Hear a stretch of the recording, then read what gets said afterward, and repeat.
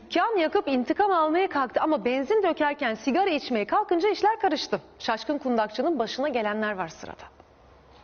Bakıyor bak. Bak bak. Bu hak etmiş ya ben bunun bu kadar olduğunu bilmiyordum. Yan batma kavgasında dayak yiyen kardeşi beni dövdüler dükkanlarını yak dedi. Ancak öfkeli ağabey dükkanı değil kendini yaktı. Bak şimdi ağzı sigaraya bak bak. Adam kendini yakmaya gelmiş buraya. Vallahi Üstünde yani. akıl et. Şov Haber WhatsApp ihbar hattımıza gönderilen görüntünün adresi Balıkesir. Kırmızı montlu adam tekel bayinin önüne geldi. Etrafı kolaçan etti. Bak. Bak bak gene bak. Bak kollara bak bak. Esnaf adamı evire çevire dövdü. Beni birkaç kişi tutuyormuş orada ya. Kardeşinin dayak yediğini öğrenen adam tekel bayini yakmaya geldi. Ama elinde benzin ağzında da sigara vardı. Bak bak. Ağzında sigara. Bak şimdi ağzı sigaraya bak bak. Bu duruma Bak bakar bak. mısınız? Adam kendini yakmaya gelmiş buraya.